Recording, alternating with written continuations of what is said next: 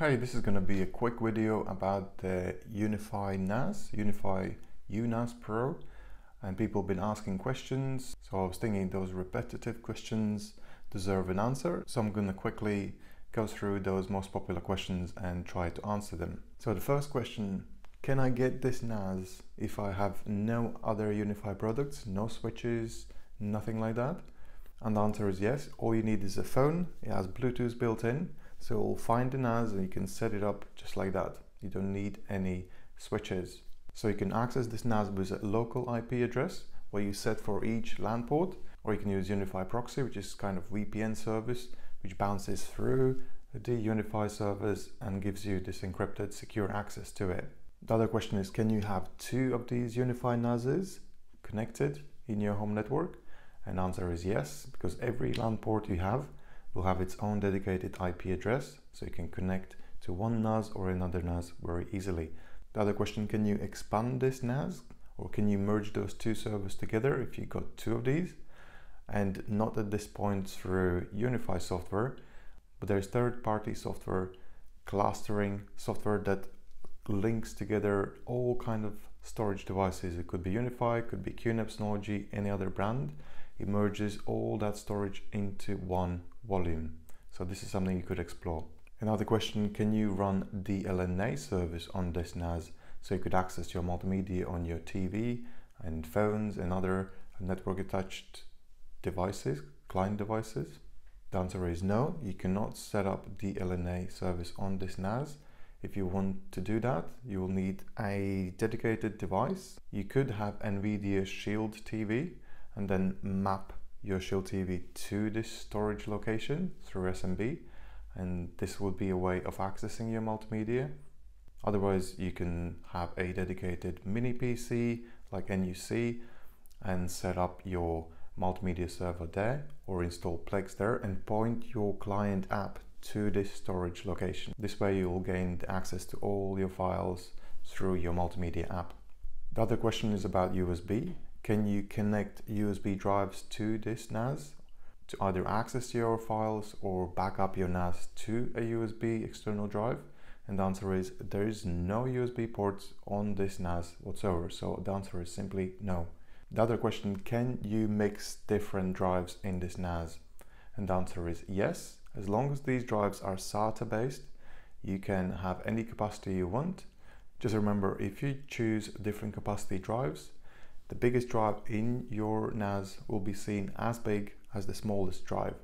So keep that in mind. So if you have four 8 terabyte drives and one 20 terabyte drive, this 20 terabyte drive will be seen as 8 terabyte drive.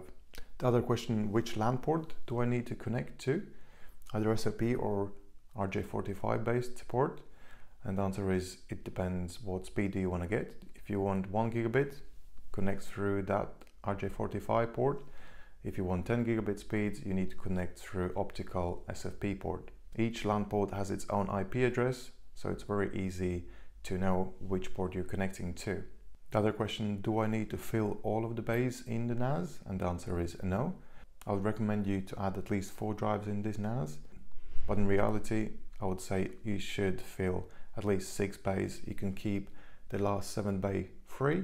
Normally it's dedicated anyway for hot spares but um, that's what I would recommend because the admin panel doesn't have very simple features to add or expand the existing RAID. So it's better to set it up for once and this is the setup you're going to have for the rest of the time. But if you did choose to have fewer drives this will also work. The other question is about transcoding multimedia.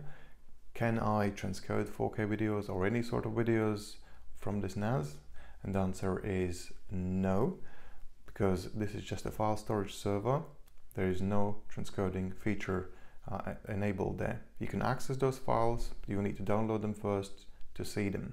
If you want to have transcoding feature, you will again need to introduce NVIDIA Shield TV or something else like a local multimedia player device which has transcoding feature built in and then you point that device to your storage location on your UNAS and then all the transcoding will be done from that device.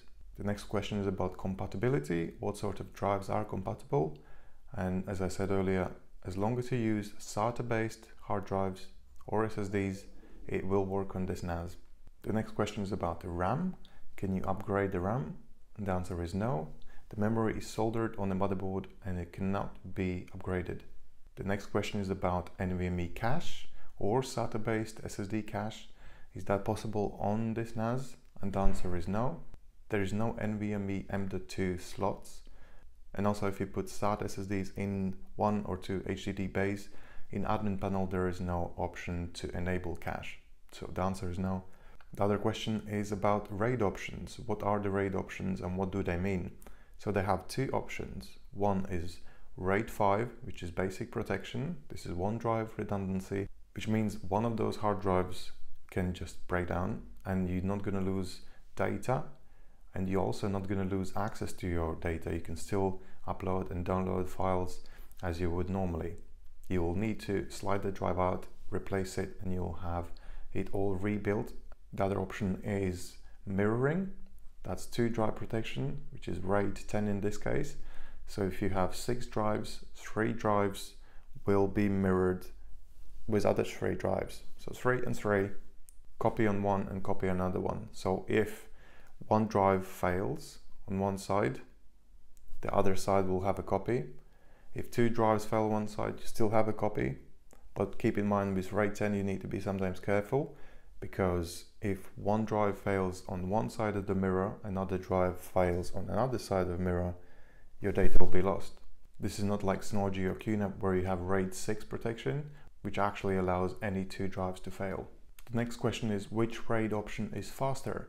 RAID 5, which is the simple basic option, or RAID 10, two drive protection, which one is faster? RAID 10 is much simpler RAID and it doesn't ask CPU to do all the calculations and parity data to put across these drives. So quite often you'll find RAID 10 to be faster. Say both RAID options will have very similar speeds. The last question is, can I migrate drives from Synology, QNAP or other NAS to this NAS? And the answer is you can move those drives to this NAS, but you will need to format them before you use them. So you'll need to wipe them clean. The system will do it for you and then you can use them for storage. You cannot migrate all the data existing on those drives, especially if it's RAID, to your UNAS. You'll need to wipe those drives. I hope these answers to these questions were helpful. If you have any more questions that you want me to answer, you can put them down in the comments or just come to nascompares.com website and make inquiry there and ask us those questions there. See you next time.